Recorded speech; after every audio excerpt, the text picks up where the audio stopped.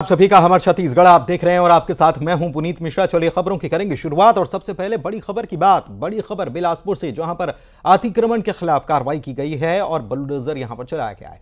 मंगला आज़ाद चौक पर अतिक्रमण था, इस पर एक्शन लिया गया और सड़क को चौड़ा करने के लिए, सड़क के चौड़ीकरण के लिए यह कार्रवाई की गई है। निगम का दस्ता जो है, उसने अतिक्रमण हटाने का काम किया है और यहाँ पर बुलडोजर चलाया गया है। देख सकते हैं आप, जेसीबी से यहाँ पर जो अतिक्रमण किया गया था उसे हटाने का काम किया गया है, क्योंकि कई सड़क जो है, इसकी वजह से काफ़ी सक्रिय हो गई थी और सड़क को चौड़ा करना ज़रूरी है, इसलिए इस अतिक्रमण को हटाने का काम यहाँ पर किया गया है। निगम के अतिक्रमण विरोधी दस्ते ने ये कार्रवाई को अंजाम दिया है। उमेश मौर्य हमारे संवाददाता फ़ोन लाइन पर जुड़े हुए हैं। उमेश, कितने अतिक्रमण हटाए गए हैं? सड़क चौड़ीकरण बहुत ज़रूरी भी है, क्योंकि ऐसे में जब सकरी सड़क होती है तो लोगों को दिक्कत होती है और लोग ऐसे में जहाँ जगह मिलती है, वहाँ अतिक्रमण भी कर लेते हैं। कितनी दुकानों को हटाया गया? बिल्कुल, देखिए, ये मंगला था आज़ाद चौक और यहाँ पर पिछले कई सालों से चौड़ीकरण का जो काम था, वो अवरुद्ध था और उसकी वजह ये थी कि इस पूरे सड़क के किनारे जो है, लोगों ने कब्जा कर लिया था। निगम ने लगातार कार्रवाई करते इन लोगों को यहाँ से हटाया। लगभग 50 से अधिक दुकानों को पहले हटाने की कार्रवाई की गई थी। लेकिन ये देखा गया कि कार्रवाई के बाद से फिर से इन दुकानदारों ने उसी जगह पर एक फिर से मकान बना रहे थे और उसको कब्जा करने की कोशिश कर रहे थे। जैसे ही इसकी जानकारी निगम अतिक्रमण दस्ते को लगी, वो मौके पर पहुँचा और एक बार फिर से बुलडोजर की कार्रवाई देखने को मिली है। तो इसके साथ ही सख्त हिदायत भी दी गई है कि जहाँ पर अतिक्रमण को हटाया गया अगर वहाँ दोबारा किसी तरीके से कब्जा किया जाएगा तो उनके ऊपर कानूनी कार्रवाई की जाएगी। फ़िलहाल नगर निगम की लगातार कार्रवाई देखने को मिल रही है और कब्जे की वजह से जो शहर का विकास अवरुद्ध हो रहा था, सड़क निर्माण में जो परेशानियाँ आ रही थी, उसको बेहतर करने का लगातार प्रयास जो है निगम के द्वारा किया जा रहा है। लेकिन कहीं ना कहीं अतिक्रमण दस्ता जो है, अतिक्रमणकारी जो है, वो इस पूरे योजना को फेल करते हुए साबित नज़र आ रही यही वजह है कि लगातार अतिक्रमण दस्ता अवैध अतिक्रमण को हटाने की कार्रवाई कर रहा है, जी। चलिए, बहुत शुक्रिया बहुत शुक्रिया। अतिक्रमण विरोधी दस्ते की ये कार्रवाई हुई है, यहाँ देखने को मिली है। और महासमुंद से भी खबर आपको बता दें, यहाँ पर भी अतिक्रमण पर प्रशासन की तरफ़ से कार्रवाई की गई और बुलडोजर चलाया गया।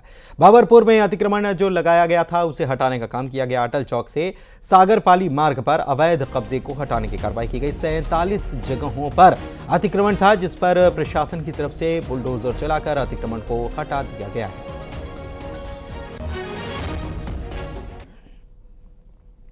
तो तस्वीरें आपको हम दिखा रहे हैं अतिक्रमण पर कैसे बुलडोजर चलाने की कार्रवाई यहाँ पर की गई। इस दौरान भारी संख्या में पुलिस बल की तैनाती भी देखने को मिली। लोग भी यहाँ पर इकट्ठा हो गए थे काफ़ी संख्या में, लेकिन अतिक्रमण करके जो दुकानें बना दी गई थी, जो टप्पर जो है वो यहाँ पर डाल दिए गए थे। उनको तीन टप्पर को हटाने का काम जेसीबी की तरफ़ से, जेसीबी की मदद से किया गया।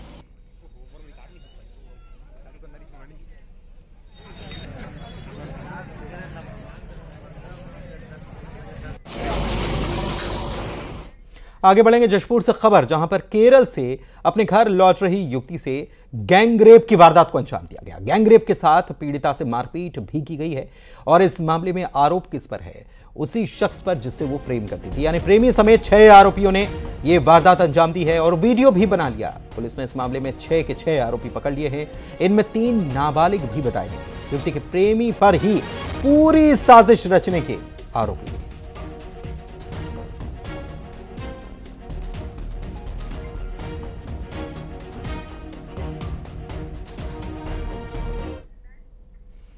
आगे बढ़ेंगे बेमित्रा बारूद फैक्ट्री ब्लास्ट में बड़ा अपडेट सामने आया है। फैक्ट्री ब्लास्ट की जाँच अब एसडीएम करने वाले हैं। ब्लास्ट की चार बिंदुओं पर जाँच की जाएगी और 45 दिन के अंदर ये रिपोर्ट सौंपनी होगी। बेमित्रा कलेक्टर ने इस जाँच के आदेश जारी किए और अब ये जाँच जल्द ही शुरू हो जाएगी।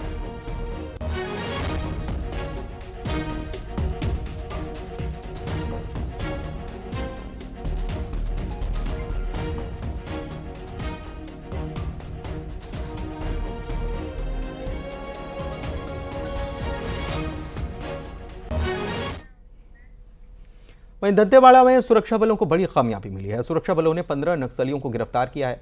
डीआरजी और बस्तर फाइटर्स की टीम को यह बड़ी कामयाबी मिली है। मौके से भारी मात्रा में आईईडी भी बरामद किए गए पकड़े गए पंद्रह नक्सलियों में सात महिला नक्सली भी शामिल बताए गए हैं।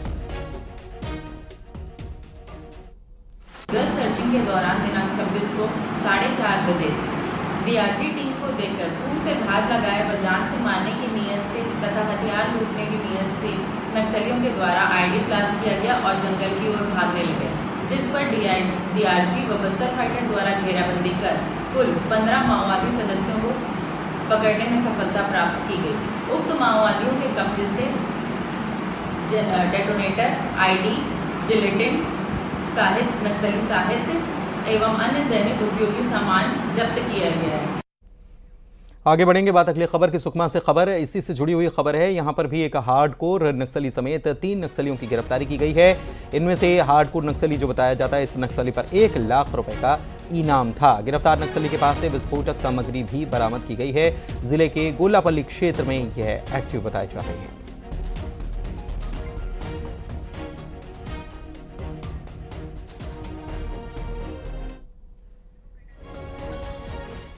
वहीं पद्मश्री हेमचंद मांझी की सुरक्षा को अब बढ़ाने की कार्रवाई की जाएगी।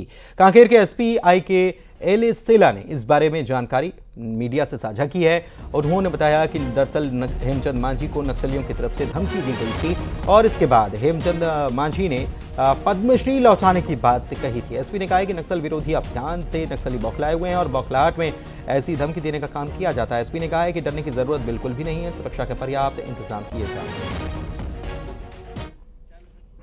मांझी जी के बारे में उनकी सुरक्षा के बारे में जो कल मुद्दा उठा है, उसमें एसपी नारायणपुर द्वारा उनको सिक्योरिटी के लिए आश्वासन दिया गया है।